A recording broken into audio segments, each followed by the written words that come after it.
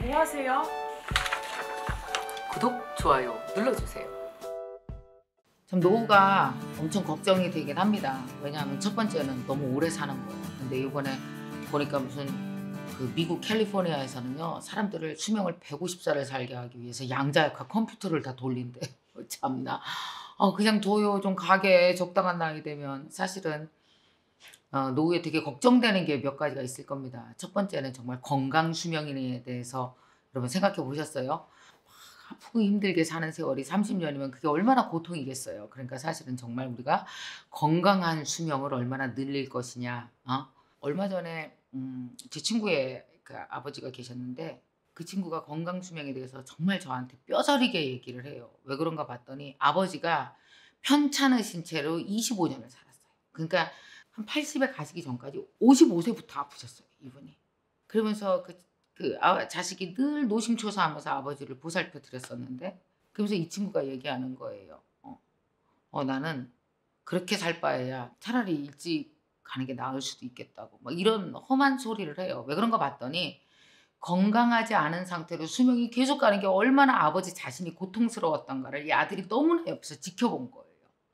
그래서 그 친구가 아버지랑 체질이 똑같습니다. 어떠냐면 아버지가 결국은 당뇨로 너무 고생하신 거거든요. 살이 썩고 막 엄청 고생을 하셨거든요. 근데 체질이 대대로 엄청 뚱뚱해요. 다 100kg가 넘는 거예요. 이 친구도 거의 95kg까지 갔어요. 키가 작은데. 근데 그 집이 워낙 먹는 걸 좋아하고 워낙 고기를 좋아하고 늘 이런 집이에요. 만나면 채소는 하나도 없고 고기 파티라면 고기가 이만큼이에요. 탄수화물 어마어마하게 먹고 그 친구도 그런 걸 너무 좋아해서 살이 굉장히 쪘었거든요. 근데 어느 순간 아버지가 건강하지 않은 상태로 건강 수명으로 살지 못하고 너무 힘들게 거의 20년이 넘게 사는 걸 보더니만 이 친구가 그냥 결심을 했습니다. 진짜. 그 5년 전에 여러분 남자가 살 빼는 게 엄청 어렵잖아요. 오로지 건강을 위해서 고기도 굉장히 줄이고 탄수화물 줄이고 뭐 운동 뭐 웬만한 거리를 정말 하루에 그 2만 보 이상씩을 걸었어요. 정말 너무 건강하게 살을 딱 감량을 했더라고요. 감량을 딱 해서 그때 저한테 그런 얘기를 했어요. 드디어 아버지처럼 살지 않게 될 것 같아서 너무 좋다고. 늘 두려웠었대요. 어? 건강하지 못하게 사는 것에 대해서. 여러분 사람이 수명 자체도 되게 중요하지만 건강 수명 너무 중요합니다. 우리가 사실은 3, 40대 때는 건강에 대해서 거의 신경 안 써요. 젊으니까. 근데 50만 넘어도 우리는 이제부터 생각해야 돼요. 50 이후 금방 60대잖아요. 저도 4년만 있으면 60이에요. 그러다 보니까 생각하게 되는 게 내가 나이 70에도 내 하고 싶은 일을 할 수 있을 정도로 내 몸에 활력이 있는 상태로 유지해야 돼. 그게 뭐예요? 내 몸에 내가 하고 싶은 활력을 유지하는 상태가 건강 수명이잖아요. 그죠?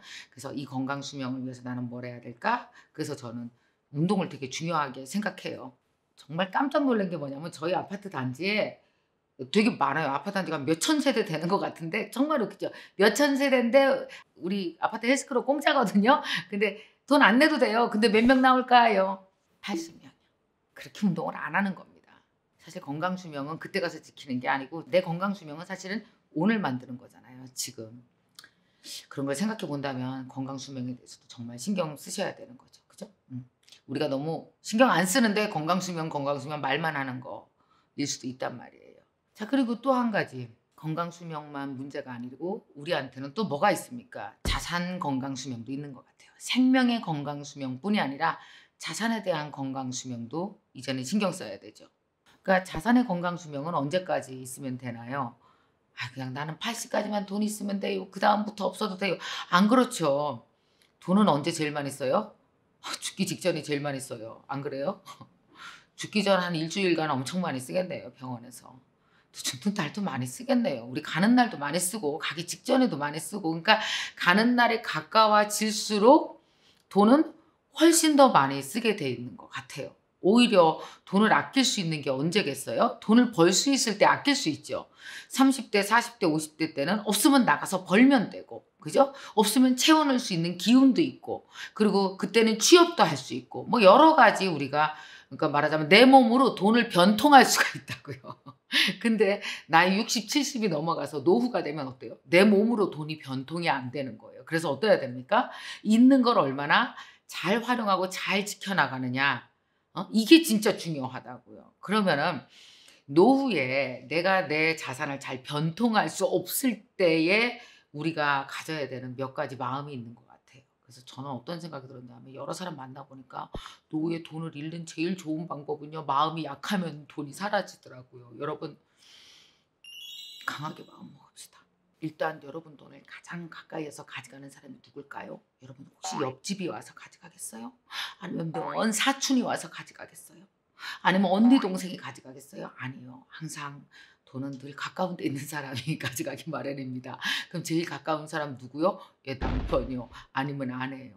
근데 우리 서로 나이가 들어서 뭐 크게 돈 쓸 일 없다고 치면 의욕에 넘치는 사람이 돈을 가져가겠죠. 여러분 원래 돈은 의욕에 넘치는 자가 가져가게 돼 있습니다.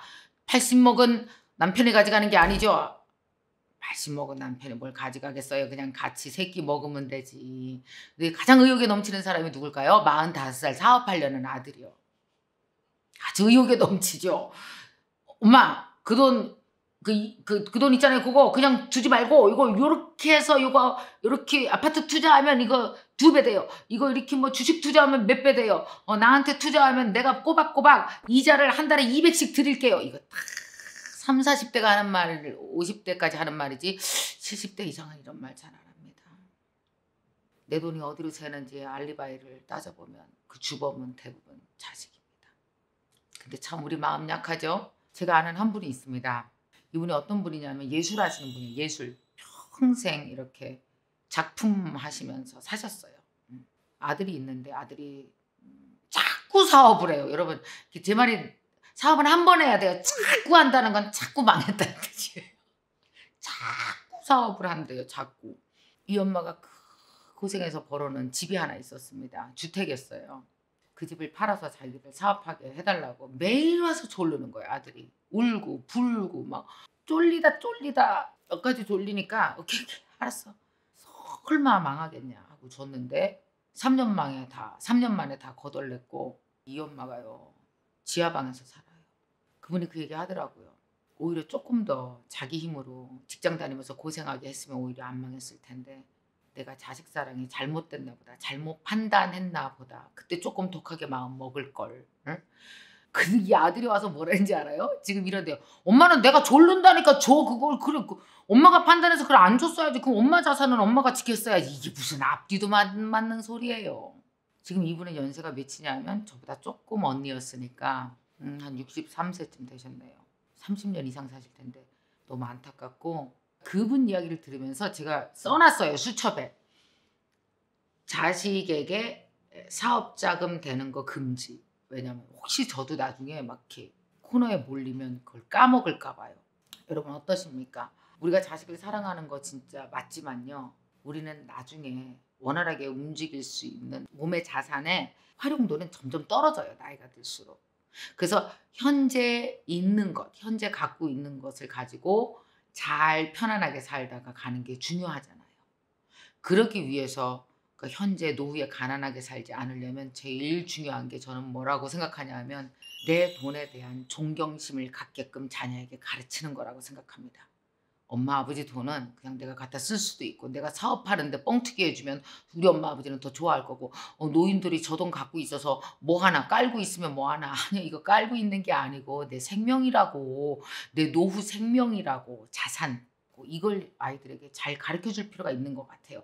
어려서가 아니고요. 30대 40대가 될수록 훨씬 더 강하고 확실하게 이것은 내 것이며 이것은 나를 지키는 것이며 부모님의 60 이후의 자산에 대해서 존경심을 갖고 존중할 수 있도록 아이들과 대화하고 확실하게 못 박아주는 거 되게 중요하다는 생각을 들어요. 우리 이런 독한 마음 사실 잘 안 먹습니다. 그래서 그냥 아유 뭐 설마 그러겠어요 이러다가 어, 설마 또 그러면은 그냥 아유 할 수 없어요 주지 이렇게 약한 마음 먹고 가다가 나중에 어떤지 아세요? 정말 나이 70, 80에 좀 선하게 살아야 될 때 우리가 잘못하면 되게 독해질 수가 있어요. 저는 그런 생각이 들어요.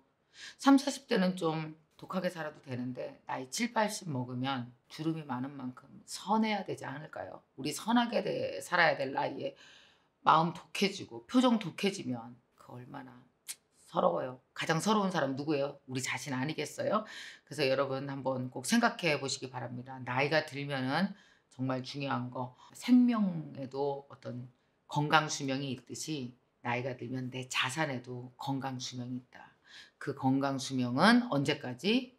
가기 직전까지 다. 그래서 가기 직전에 돈이 제일 많이 들지 않겠습니까? 그러니까 가기 직전까지 내가 내 생명의 품격을 지키고 뭐 이렇게 하기 위해서는 잠시 내가 그래도 음, 조금 야박하고 독해도 이걸 좀 지켜나가는 것이 나중에 보면 오히려 자식도 편하게 하고 우리도 편하게 사는 길이 아닌가 생각이 들어서 여러분에게 또 한번 화두를 던졌습니다.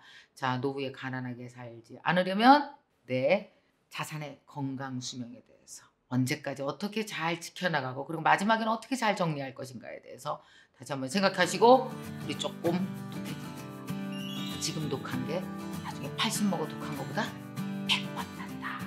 생각합니다. 아 여기서 제가 제일 어린 것 같은데 맞겠죠? 저는 지금 어, 많은 분들이 주목하고 있는 90년대생입니다. 저의 목표는 여기 김미경 캠퍼스를 통해서 90년대 밀레니얼 세대의 김미경이 되는 게 저의 최고 목표이고요. 좋은 가르침을 받고 더 성장하는 사람이 되었으면 좋겠습니다. 아니 그렇게 될 거예요. 만나서 반갑습니다.